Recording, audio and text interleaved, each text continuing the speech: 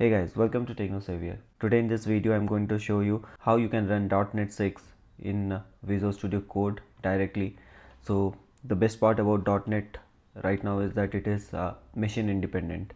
So basically it can run on Windows, it can run on Mac. So this is the website that I'll be, that I'll be referring to set up the, the .NET uh, environment. Although it is relevant to .NET Core but that doesn't matter because .NET 6 is kind of a upgraded version of .NET Core and I'll show you how do how can you install the latest version of .NET SDK. So the prerequisites over here are you should have the VS Code Docker extension installed, you should have a .NET development environment installed and you should be having a C sharp code for Visual Studio. It's basically for the code prettifying and other stuff. Okay. So what you can do is over here click on .NET download the latest version of .NET as I said the latest version of .NET is nothing but the .NET 6 that is the stable version as of now. So you can download this based on your Windows or Mac. Again Mac has different uh, versions Windows has different versions. Then the other installation process are like simple. You just go do a step-by-step -step install and it, it should get installed. But how do you verify? In order to check whether all the system is up and running for .NET then what we can do is we'll just go into the terminal. Now what I'll do is if I'll type docker it should give me uh, this information. It basically tells that okay my docker is up and running okay? Or I can just type docker dash v to show me what version of docker is installed in my machine. Similarly for .NET you can type .NET dash dash version okay? It will give you the latest version the .NET version that is installed in your machine so I have docker of uh, docker version of 20 and .NET 6 so now since uh, my prerequisites are installed at least the docker and the .NET is there let me open the Visual Studio. So I've created this uh, ms.NET 6 folder. It's empty folder as you can see. I have the docker extension already installed over here. If you don't have the docker extension you can just go over here search for docker and you will find the docker extension by Microsoft. Do install it it's pretty great. At the same time I have some other plug plugins installed. Okay I use it for my day-to-day -day activities. So let's keep it aside .NET new. Okay so for the terminal if you don't have the terminal handy you can just click on this icon here. It will open up the below taskbar and you can click on the terminal. Okay so that's how I opened it new terminal .NET new. What do I want? So I want a web API dash dash no https so as you can see the scaffolding happens. Scaffolding is nothing but like a template that .NET has in its uh, internal structure okay? So as soon as you give the command okay give me a web API project it will quickly create all the necessary controllers uh, the APIs the program.cs file some dummy file to get you started very quickly so as you can see uh, we have this uh, weather forecast okay? It has some properties and uh, you have this program.cs file that is the starter file of this project okay? And you have the controller weather forecast controller. Now what we'll do is we will run this program directly in docker. So there are multiple ways to do it. But will be since we already have this extension installed you have that luxury to auto create all the stuff directly from the terminal point. Adding uh, the next step is what? We need to add the docker files to the project so that it gets executed. Normally if you don't have this docker uh, extension installed you have to go ahead and create this docker file manually step by step and that's a hectic process. So this docker extension kind of removes all this overhead and gives you this plain interface where you can directly go and create this uh, docker file you can create a docker file you can create a docker compose file. It's up to you. If you are using multiple containers docker compose is the best way to go forward. Okay so let me open the command palette. So i can type windows uh, windows or command shift p. Okay now if you type docker add docker files to the workspace. So in what kind of application are we uh, interested in creating? So it is basically a .NET ASP.NET application. Although it is not completely .NET core but again .NET 6 has the base of .NET core so it's good. We can go ahead with this. Now what kind of system are we using? Since macs since i am using mac we'll go ahead with linux. You can go ahead with windows. Now what is the port that i want it to be exposed in? Let me give some random port. It doesn't matter actually but whichever port we are mentioning we have to access that port. 5010 I've given. Okay so here it is telling do you want to add a docker compose file? Yeah let's do it. So we we were able to generate this docker file pretty quickly directly from the docker extension. Okay first it will what it will do it will pull the .NET 6 base image. As you see it has automatically detected which version of .NET we are using or which is installed in our machine and it is downloading the respective .NET version. And it is setting the working directory to dash app because by default everyone has some kind of every images will be having their own working directory.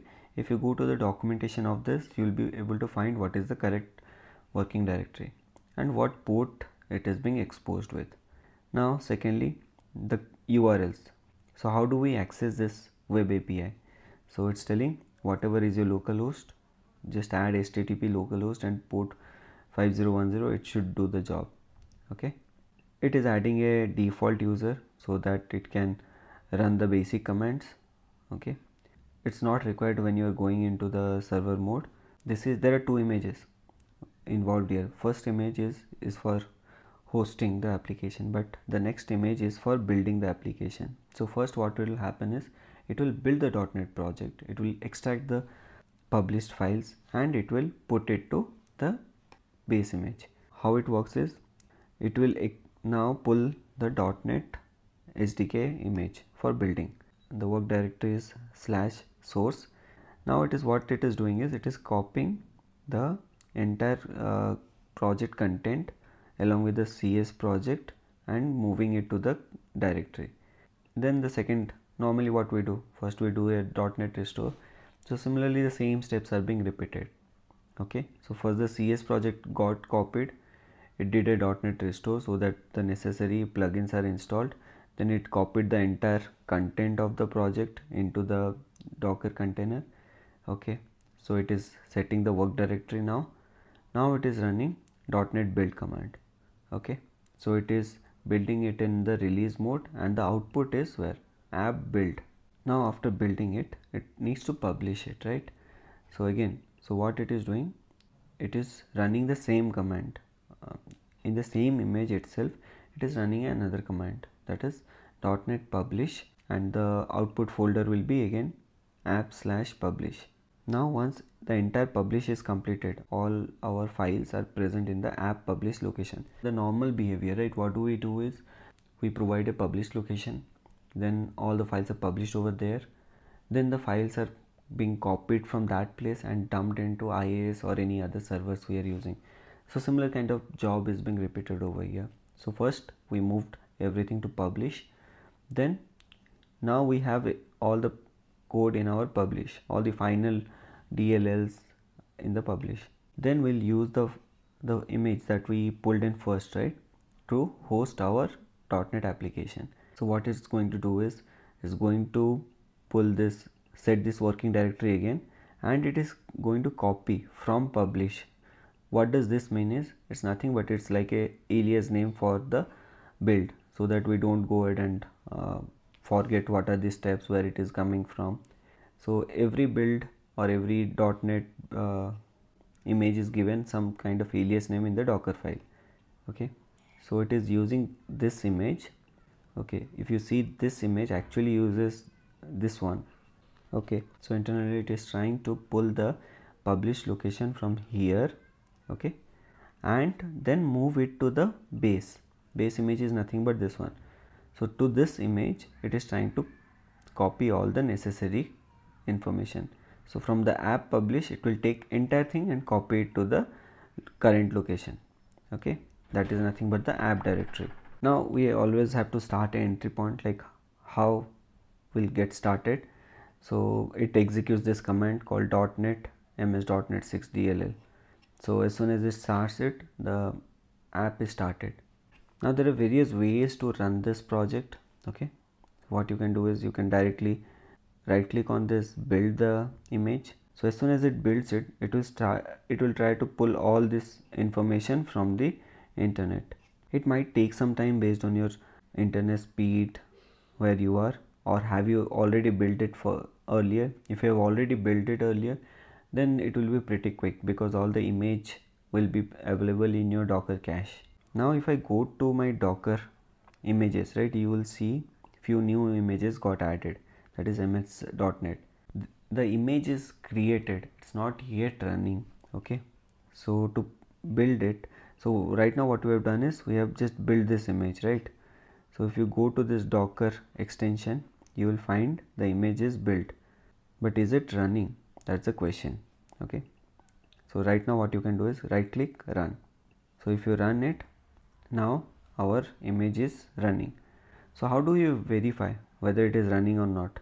So from the command line you can do docker ps you will see there will be one image okay? That is the .NET image that is getting executed. To verify it what we can do is we can again uh, just open one more tab localhost 5010 enter. Yeah that's it. So you see our API started responding. So now we are already up and running with our docker container. So this is how you can easily set docker container. But I'll be showing you few more steps. So it's not that it is limited to this okay? So first of all what I'll do is let me stop this container. So as soon as I stop and I'll try to access this URL again. So it cannot find this let's see the advantage of docker compose. So instead of running all these commands right you can just write docker compose. If you write docker compose upright it internally uses the docker file. If we go into this docker compose yaml you see it is using this docker file and exposing the same ports over here. So it's making the steps little bit automated. Now we go over here enter it starts up.